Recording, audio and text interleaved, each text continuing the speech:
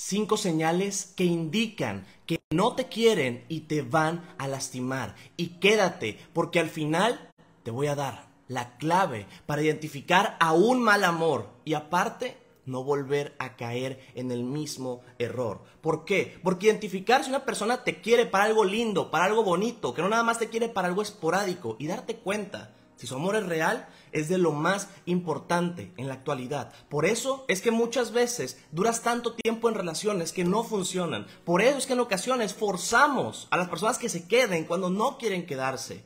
Hoy tienes que ver este video completo. No te lo puedes saltar. Porque las cinco señales de que alguien no te quiere, siempre las debes de tener.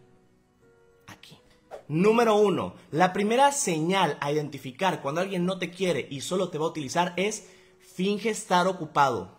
Finge que tiene muchas cosas que hacer. Finge que nunca tiene tiempo. Y es más, todos conocemos a alguien que parece que siempre tiene una excusa. O es más, de la nada le dice, oye, hay que salir y le sale un plan de último momento. O al final le terminaron hablando sus amigos y se tuvo que ir para otro lado. O tiene partidos de fútbol en la madrugada. Baby, todos podemos denotar las excusas baratas o cuando alguien simplemente finge estar ocupado para no estar a nuestro lado. A lo que quiero llegar con esto es, si tú denotas que el interés disminuyó y que simplemente las excusas son demasiado baratas como para poder creértelas, discúlpame, pero esa persona está fingiendo. Ojo, en este video, si detectas dos o más señales de las cinco que te estoy dando, te aseguro que esa persona no te quiere.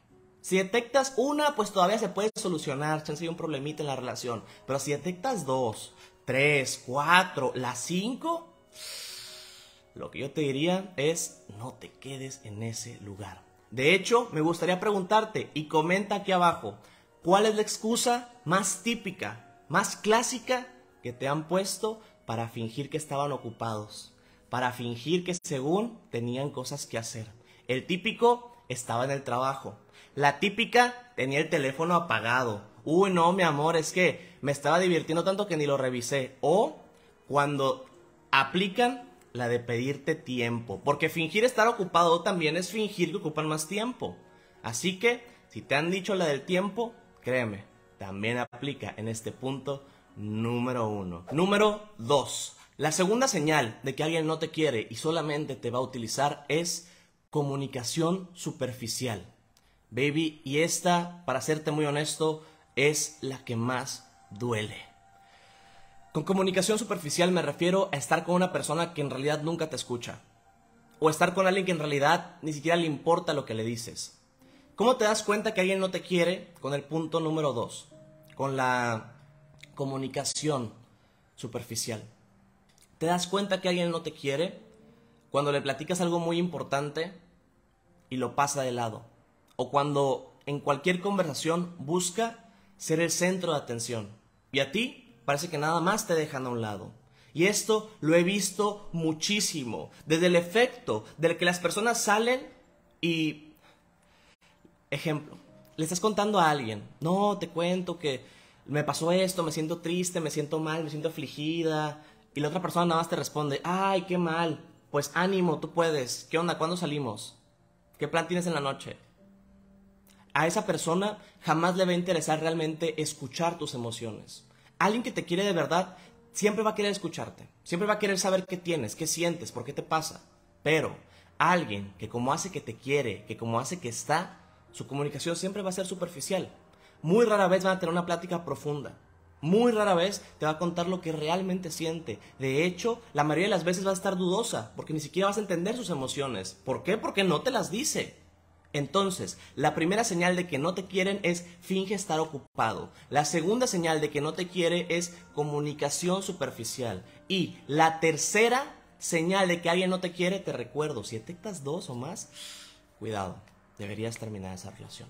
Número tres, la tercera señal es falta de compromiso. Baby, ¿a qué me refiero con falta de compromiso? ¿En algún momento has estado con alguien y realmente jamás te dice lo que desea? Lo peor que le puede pasar a una persona es vivir con la duda, vivir con la incertidumbre de ¿me quiere de verdad? ¿De el siguiente mes vamos a seguir juntos? ¿Y si decide separarse? ¿Y si... ¿Qué pasa si en realidad ni siquiera tenemos futuro?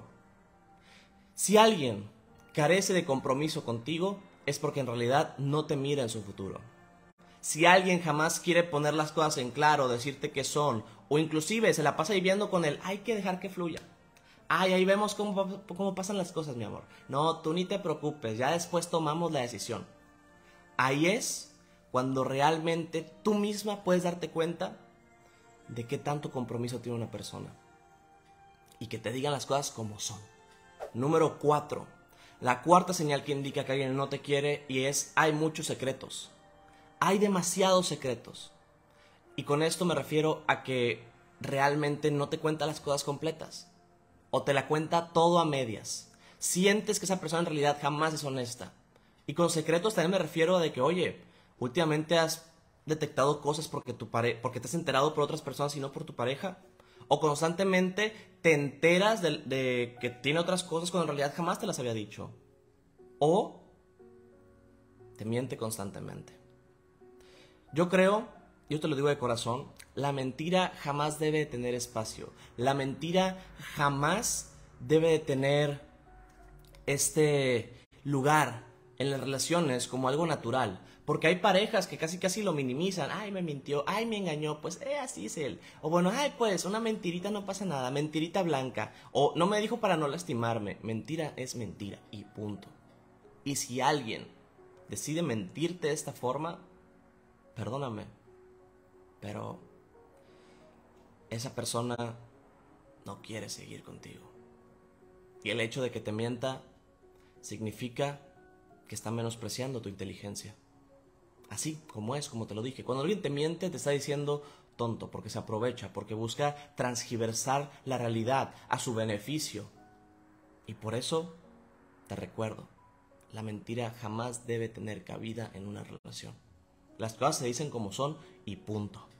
Número 5.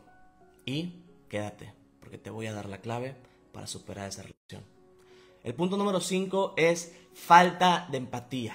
Baby, una persona que no es empática contigo, que no se pone en tu lugar, que no te escucha de manera constante, una persona que no es capaz de sentir realmente tu dolor, no te ama.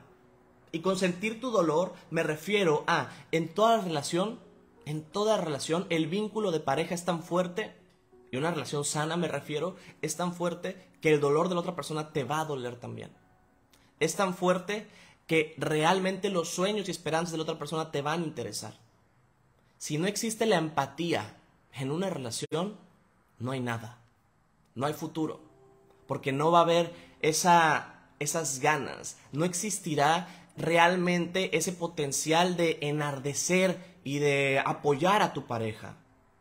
Así que te recuerdo, número uno, la primera señal de que no te quieren es siempre va a fingir estar ocupado. Nunca va a tener tiempo. Ay, después nos vemos. Ay, es que me salió tal cosa. Siempre va a haber excusas. Si al inicio siempre tenía tiempo y de la nada se desaparece, perdón, está fingiendo.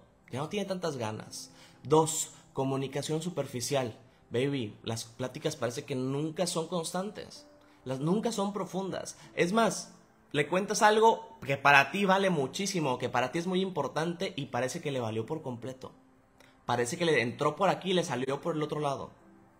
Número 3. Falta de compromiso. Nunca te dice qué son, qué somos, qué hacemos. Jamás es capaz de decirte realmente hacia dónde quiere llevar la relación. 4. Hay muchos secretos. Nunca te cuenta las cosas completas. Es más, la mentira reina en muchas ocasiones dentro de la relación. Y esto, te repito, mentiras y secretos son los principales causantes de romper los vínculos emocionales, de romper a las parejas. Yo te lo digo porque lo he visto en consulta infinidad de veces. Infinidad de veces me he topado con parejas que por un secretito se rompió la confianza, que por una mentirita, oye, ya no puedo creerte nada. Me es difícil creerte. Porque realmente, si me mentiste una vez, que me dice que no lo vas a hacer una segunda vez? ¿O que me dice que no me estás mintiendo ahora? La confianza es algo que jamás debes permitirte perder en una relación de pareja. Y el último punto, que agregué un extra para todos aquellos que llegaron hasta el final de este video, es cómo identificar que una persona no te quiere desde el primer inicio, desde el primer instante, o que no tiene buenas intenciones contigo, manipulación emocional. Una persona que te manipula emocionalmente rara vez va a tener una buena intención. O más bien nunca. ¿A qué me refiero con manipulación emocional? ¿Cómo detecto que me están manipulando emocionalmente? Lo voy a detectar de forma que cuando yo esté en relación no me voy a sentir libre o me voy a sentir prisionera o prisionero. Perder la libertad en relación o en pareja se siente como estar en una jaula transparente. Se siente como en ocasiones no saber qué hacer porque vas a lastimar o porque vas a herir. Porque el manipulador tiende a utilizar el hecho de que tú eres quien está haciendo las cosas mal. Pero no. Para serte muy honesto y para serte muy sincero, cualquier persona que tiende a transgiversar la realidad para aprovecharse de ti te está manipulando. Y la manipulación yo no la acepto de nadie de nadie. Porque nadie tiene por qué querer controlar mis sentimientos ni mis emociones. Familia, espero que este video les haya ayudado, les haya aportado. Te recuerdo, si necesitas un consejo o desahogarte, mándame un mensaje en Instagram. Y si te gustaría unirte a Detox Emocional, a nuestro club privado, a la membresía, aquí abajito te dejo el link para poder unirte a Detox. Muchísimas gracias por ver este video. Espero que te haya encantado. Si necesitas desahogarte o simplemente hablar con alguien por un consejo o lo que sea, aquí te dejo mi Instagram personal. Respondo casi todo. Nos vemos en un próximo video.